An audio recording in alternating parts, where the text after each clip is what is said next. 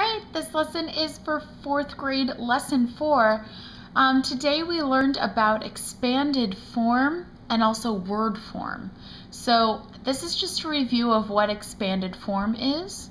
Expanded form is when you add all the place values together. So here's my example. I have 250,941 and I'm going to show you what this looks like in expanded form. So we're going to start all the way to the left. This 2 is in the hundred thousands range.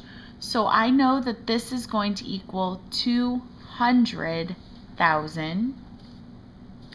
And now I'm going to add it to my next place value, which is in the 10,000s range. So this 5 equals 50,000. And then I'm going to go on to the next one, but that looks like it's a zero, which means there are no thousands in this number. So I get to skip it. I'm going to go on to the next place value right here. This is a 9 and it's in the hundreds place value. So this equals a 900 plus my next place value is in the tens digit, so this 4 is worth 40. And then plus my last digit, which is in the ones, and it's a 1, so just plus 1. And this is your answer for if it asks you to put your number in expanded form.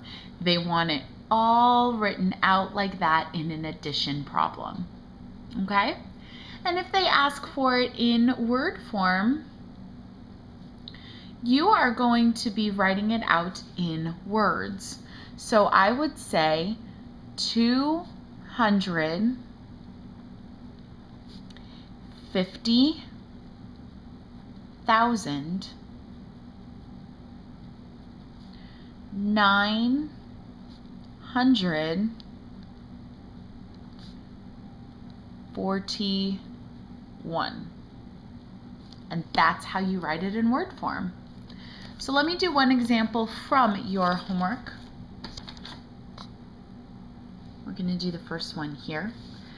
They wanted you to label the units, and remember when we're in a place value chart, we start over here at our ones, because we're not going to use all of these squares. So we have ones, tens, hundreds, thousands, ten thousands. Okay? And I'm going to write the numbers where they need to be. So this is a 3, the 2, the 5, 0, and 9. And if you look at this number and this number, they are in the same order. Okay? Now they would like us to write it in word form, and that's when we look over here. Now when 9, when it's in the 10,000 range, it looks like 90. So we go 90. And there is no 1,000. So it's not 92 or 93, it's just 90. And then we put 1,000. Okay. The number that's in the hundreds place is a fifth, or 5, so it's a 500. The number that's in the tens place is a 2, and that's 20.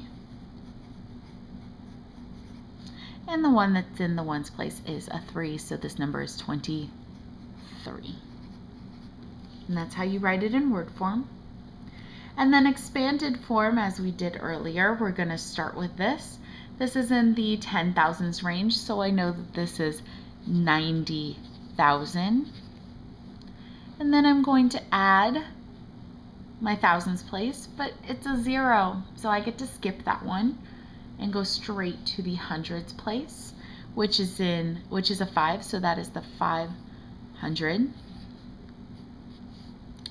And then my two is in the tens place. So that is a 20.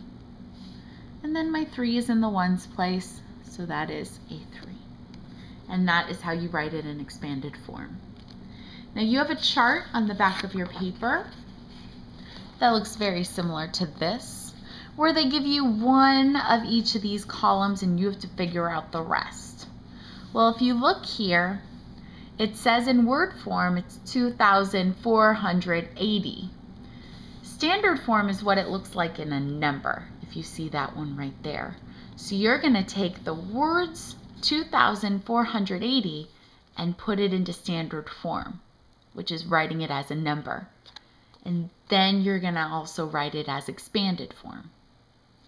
If they give you expanded form, you then have to take this, make it into word form, and then of course your standard form.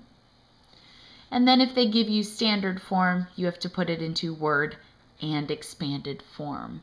Okay? Using the examples that I gave you before and the front of the page, this shouldn't be too difficult. Um, but just make sure that you look at your notes to help you out. All right, thank you. I hope this helps.